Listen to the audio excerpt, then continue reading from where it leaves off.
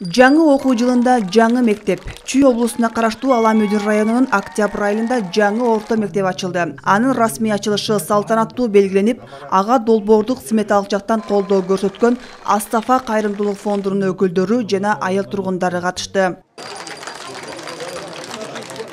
мектеп эки кабаттуу жана үч жүз элүү балага ылайыкталган. Билим берүү шарттар түзүлүп заманбап жабдуулар менен жабдылды. Мисалы спорттук залы ашкана ичинде ысык музак суусу. Атайын компьютердик класстар кружок ийримдер үчүн бөлмөлөр бар. Бул окуучулардын сапаттуу билим алуусу үчүн чоң мүмкүнчүлүк түзөт. Мен биринчи класска келдим иштери жакты сонун экен. Мектептин ичи жакты классташтар жакты ичи сонун экен. Столовойу бар экен.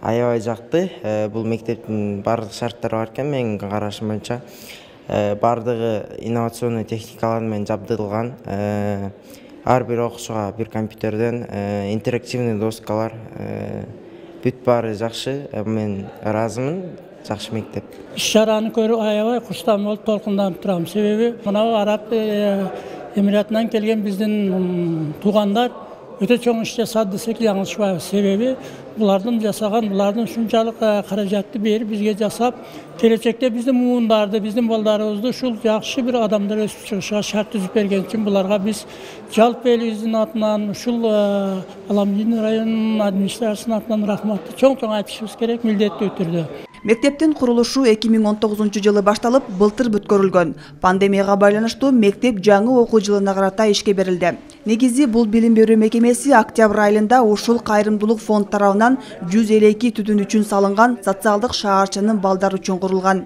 андан тышкары э, шаарчанын жанында эки жаңы конуш бар.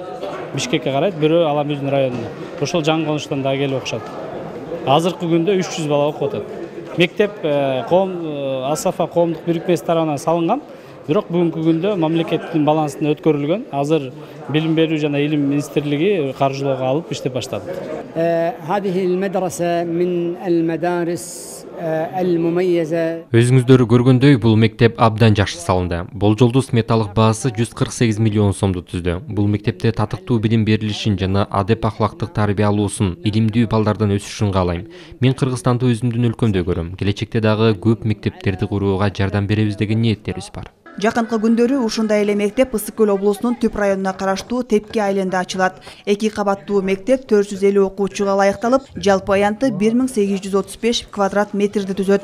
Жалпы билим берүүчү мектептин курулуш иштери токсон пайызга аяктап калды. Айжамал болот кызы алмаз нурманбетов ала тоо жыйырма